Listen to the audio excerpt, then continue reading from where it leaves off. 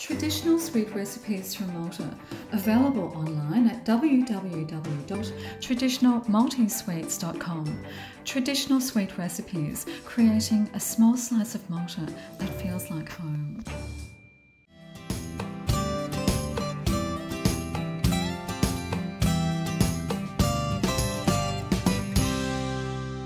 Merba lura fil-programmu fl-intervista li jmiss il-kollega tiegħi Mark Avellino ser laqana ma' Chris Bonello, xef Malti li qed imexxi bosta stabilimenti magħrufa tal-ikel fil-Victoria.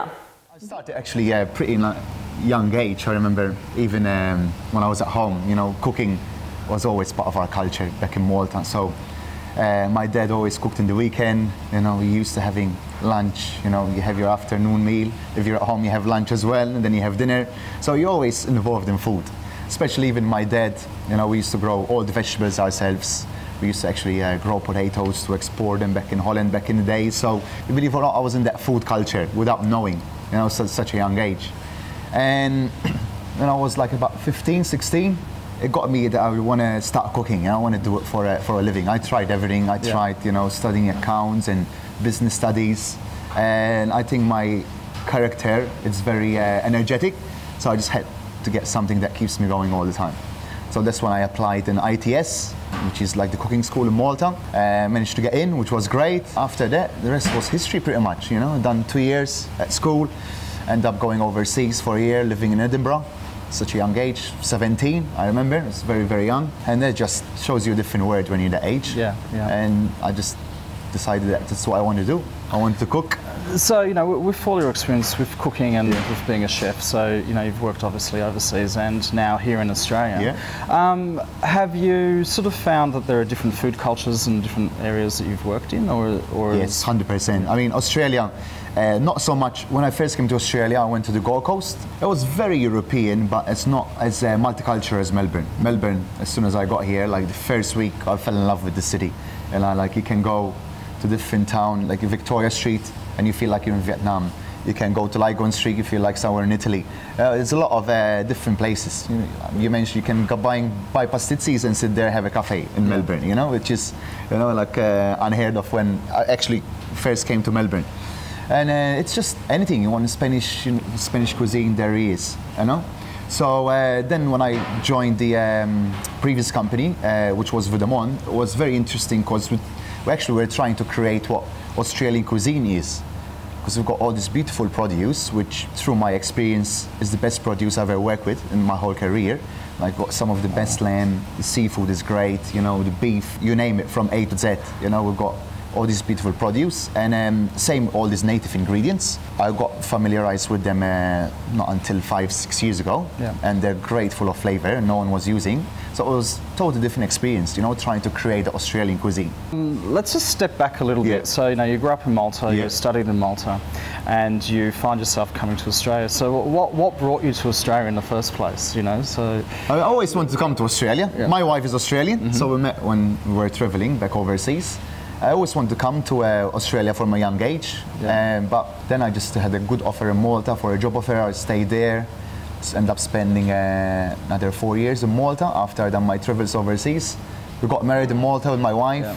And then I uh, just wanted a new challenge. Yeah. It was much difficult for her, I think, to settle in Malta. But for myself, like to settle in Australia was way easier. Like if we had to compare the transitions, mm. um, everyone speaks English. Obviously, it's the uh, mother language.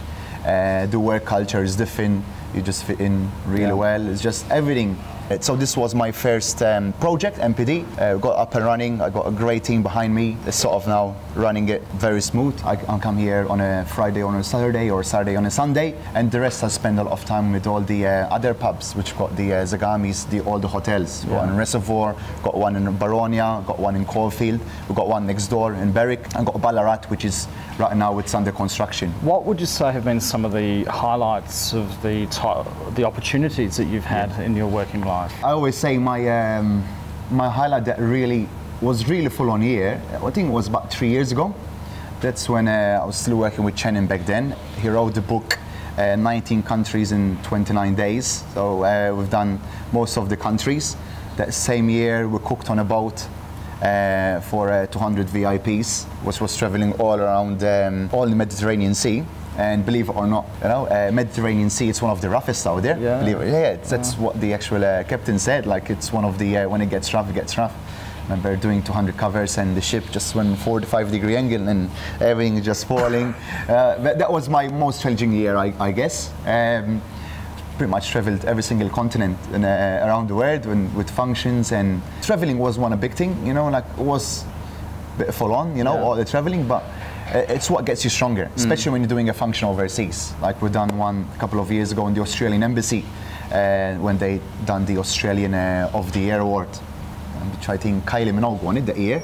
So uh, you're in uh, you're in London, so you got a team which you never met before. You've been communicating only on emails. Tell them what uh, ingredients you want, and then you go there. So you, you're getting to London literally eight days before the event. So you may make sure you don't know what you're gonna face. Yeah. And each event which I've done before in the past, same that way. You go in there and it's not the right product that you want, and get on the phone trying to get as close as you can to what you're after. So it's, it's very challenging. One of the uh, nice things when we were walking around here today was you were showing us the just the simple things like the, the plates that you've had made for this Yeah, for this yeah. venue.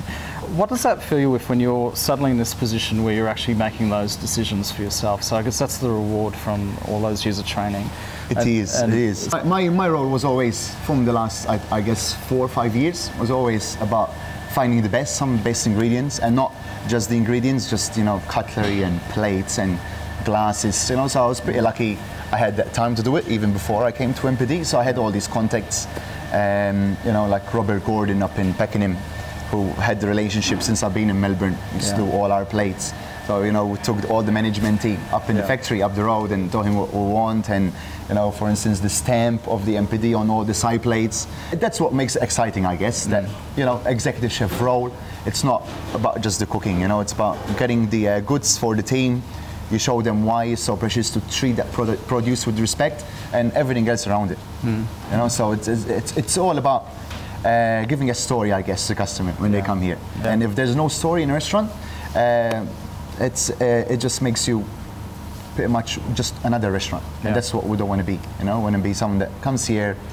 By the moment you walk in underneath the curtains, the fit out, and you just sort of forget you're in Berwick. So the whole know, experience Whole experience yeah. from it until you leave. You know. Yeah. So.